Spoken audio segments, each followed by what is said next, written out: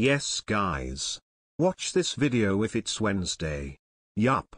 So, if you're watching this video on Wednesday, then pat yourself on the back, because you're right on time. Today we have some interesting challenges for you.